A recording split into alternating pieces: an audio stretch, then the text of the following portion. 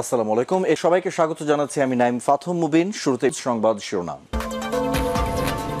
বাংলাদেশের সর্বশেষ গুরুত্বপূর্ণ আপডেট সংবাদে আপনাকে স্বাগত। শুরুতেই সংবাদ শিরোনাম, পরে বিস্তারিত। শুরুতেই জানাব, চিন্ময় দাসকে গ্রেপ্তারের প্রতিবাদে শাহবাগে বিক্ষোভ। বাংলাদেশ সম্মিলিত সনাতনী জাগরণ জোটের মুখপাত্র ও চট্টগ্রামের হাটহাজারির পুণ্ডরিক ধামের অধ্যক্ষ প্রভু চিন্ময় কৃষ্ণদাস ব্রহ্মচারীকে গ্রেপ্তারের প্রতিবাদে রাজধানীর শাহবাগে বিক্ষোভ চলছে। আর সন্ধ্যা সাড়ে সাতটার দিকে শাহবাগ মোড়ে অবস্থান নিয়ে সনাতন সম্প্রদায়ের লোকজন বিক্ষোভ শুরু করেন। এরপর জানাব, শিক্ষার্থীদের শান্ত থাকার আহ্বান সরকারের। সংঘর্ষে না জড়িয়ে শিক্ষার্থীদের শান্ত থাকার আহ্বান জানিয়েছেন প্রধান উপদেষ্টার প্রেস সচিব শফিকুল আলম। একই সঙ্গে এ ধরনের সংঘাতের পেছনে কোনো ধরনের ইন্ধন পা গেলে তা কঠোর হাতে দমন করা হবে বলে হুঁশিয়ারি দেন তিনি। এদিকে বাংলাদেশে ব্যাপক শ্রম সংস্কারের প্রতিশ্রুতি ডক্টর ইউনুস। প্রধান উপদেষ্টা অধ্যাপক ডক্টর মোহাম্মদ ইউনুস বলেছেন, অন্তর্বর্তীকালীন সরকার দেশে আরও বিদেশি ক্রেতাদের আকৃষ্ট করতে ব্যাপক শ্রম সংস্কারের প্রতিশ্রুতিবদ্ধ। আজ মার্কিন যুক্তরাষ্ট্রের একটি বড় শ্রম ব্র্যান্ড প্রতিনিধি দল তেজগাঁয়ে প্রধান উপদেষ্টার কার্যালয়ে তার সঙ্গে সাক্ষাৎকার করতে গেলে তিনি সব কথা বলেন। জানাব, সেন্ট মার্টিনে পর্যটকবাহী জাহাজ চলাচলে নতুন সিদ্ধান্ত। কক্সবাজার সেন্ট মার্টিন নৌরুটে পর্যটকবাহী ক্যারি সিন্দাবাদ নামক একটি জাহাজকে চলাচলের অনুমতি দিয়েছে কক্সবাজার জেলা প্রশাসন সোমবার। কক্সবাজারের অতিরিক্ত জেলা ম্যাজিস্ট্রেট নিজামুদ্দিন আহমেদ বিষয়টি নিশ্চিত করেছেন। এবারে জানাব, ভারতীয় জেলেরা বাংলাদেশের বঙ্গোপসাগরে অনুপ্রবেশ করে মাছ ধরছে। অভিযোগ করলেন প্রাণী সম্পদ উপদেষ্টা। মাছ ধরা নিষেধাজ্ঞা চলাকালেও ভারতীয় জেলেরা বঙ্গোপসাগরে অনুপ্রবেশ করে মাছ ধরছে বলে জানিয়েছে মৎস্য প্রাণী সম্পদ উপদেষ্টা ফরিদ আক্তার। এ বিষয়ে মৎস্য অধিকার বাংলাদেশ মৎস্য গবেষণা ইনস্টিটিউট কোস্টগার্ড নৌপুলিশ নৌবাহিনী সহ সংশ্লিষ্টদের দ্রুত কমিটি গঠনের প্রস্তাব দেন উপদেষ্টা। এবং সর্বশেষ জানাব, বিপ্লবী জোশ এবং উস্কানিমূলক কর্মকাণ্ড দেশটাকে অস্থির করে রেখেছে উপদেষ্টা মাহফুজ। অন্তর্বর্তীকালীন সরকার উপদেষ্টা মাহফুজ আলম বলেছেন, বিপ্লবী জোশ এবং উস্কানিমূলক কর্মকাণ্ড দেশটাকে অস্থির করে রেখেছে। আজ বিকেলে নিজের ভেরিফাইড ফেসবুক প্রোফাইলে সংক্রান্ত একটি পোস্ট দেন তিনি। পোস্টে তিনি লিখেছেন, মুক্তিযুদ্ধের পরের দশ পনেরো বছরের ইতিহাস মুক্তিযোদ্ধাদের একে অপরকে হত্যার ইতিহাস, যারা চায়নি বাংলাদেশ ভিতের উপর দাঁড়াক তারা মুক্তিযোদ্ধাদের একে অপরকে দিয়ে হত্যা করেছে। তাদের নিজেদের ভুল ছিল না, তা নয়। কিন্তু আমাদের মুক্তিযোদ্ধাগণের একের পর এক হত্যা বাংলাদেশকে কীভাবে পিছিয়ে দিল তা ইতিহাসে একদিন বলবে। প্রিয় দর্শক, এতক্ষণ শুনছিলেন সংবাদ শিরোনাম, এবারে বিস্তারিত। তবে তার আগে বন্ধুরা, অনুরোধ থাকবে সংবাদটিতে একটি লাইক দিন। এই চ্যানেলে আপনি নতুন হয়ে থাকলে আমাদের সংবাদটি দেখতে দেখতে চ্যানেলটি সাবস্ক্রাইব করে রাখুন। কমেন্ট করে আপনার মূল্যবান মতামত জানিয়ে দিন। জানিয়ে দিন বন্ধুরা, আপনি বিশ্বের কোন দেশ থেকে বা বাংলাদেশের কোন স্থান থেকে আমাদের সংবাদটি দেখছেন এবং শুনছেন। এবারে বিস্তারিত। চিন্ময়কে গ্রেপ্তারের প্রতিবাদে শাহবাগে বিক্ষোভ।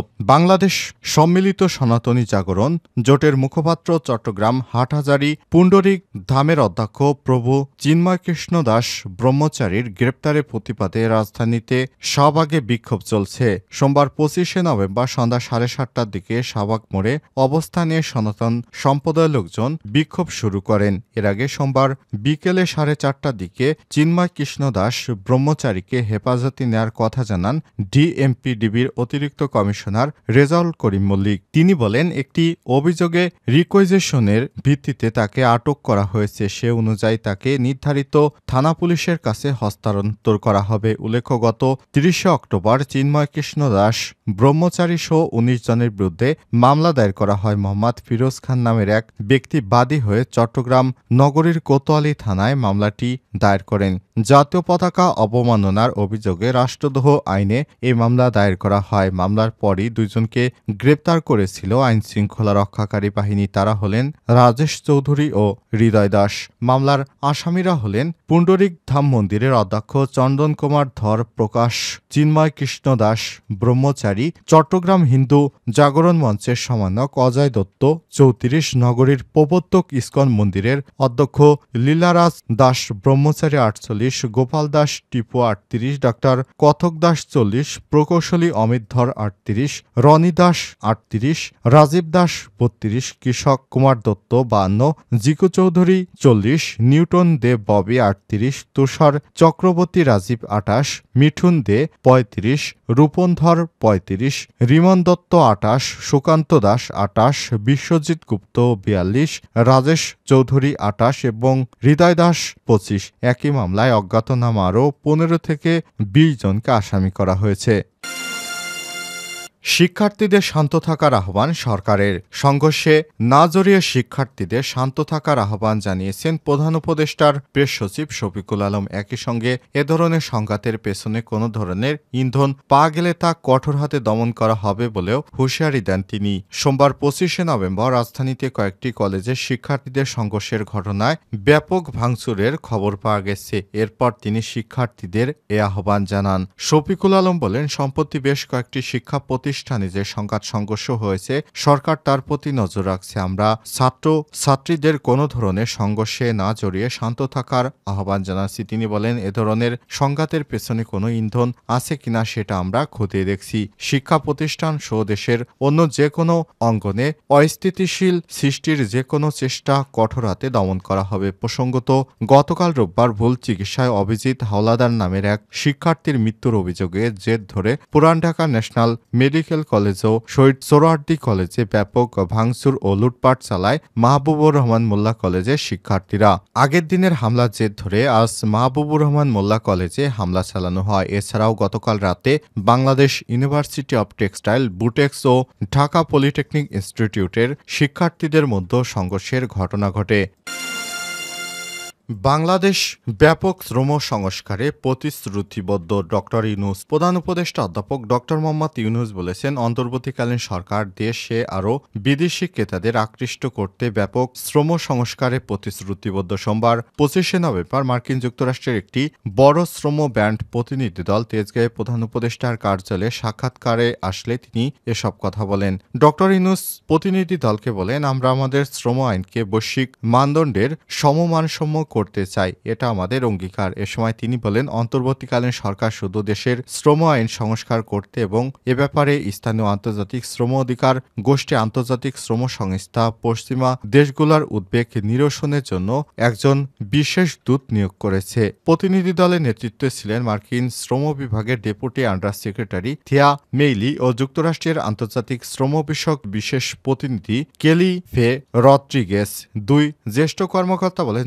যুক্তরাষ্ট্রের বৈশ্বিক শ্রম অধিকার গোষ্ঠী এবং বাংলাদেশ থেকে পোশাক ও জুতা ক্রয়কারী শীর্ষ আন্তর্জাতিক ব্র্যান্ডগুলো শ্রম আইন সংস্কার ও বাংলাদেশের কারখানায় শ্রমিক বান্ধব পরিস্থিতি তৈরিতে অধ্যাপক ডক্টর মোহাম্মদ ইউনুসের পদক্ষেপকে সমর্থন করে। সরকার এবং স্থানীয় উন্নয়নের মধ্যে স্বাক্ষরিত আঠারো দফা চুক্তি সম্পন্ন পদক্ষেপগুলোর কথা উল্লেখ করে কেলি ফে রদ্রিগেজ বলেন, প্রফেসর ডক্টর ইউনুসের নেতৃত্বাধীন অন্তর্বর্তীকালীন সরকার গত সাড়ে তিন মাসে শ্রম খাতে জন্য যা করেছেন সেগুলো সবই তার বিস্ময়কর সাক্ষ্য। মার্কিন কর্মকর্তারা মূল্যস্ফীতি চাপ থেকে লাখো গার্মেন্টস কর্মী ও পাদুকা শ্রমিককে সুরক্ষা দেওয়ার জন্য কারখানা ইউনিয়ন অধিকার প্রতিষ্ঠার প্রতি প্রতিবছর মজুরি পর্যালোচনার আহ্বান জানান। পোশাক কারখানায় ন্যূনতম মজুরি সুবিধান প্রসঙ্গে থিয়ামেলি বলেন, এটি ব্যবসার জন্য ভালো, অর্থনীতির জন্য ভালো। তিনি বলেন, কর্মী উন্নয়ন হলে গণতন্ত্রের প্রশিক্ষণ ক্ষেত্র। তিনটি শীর্ষ মার্কিন ব্র্যান্ড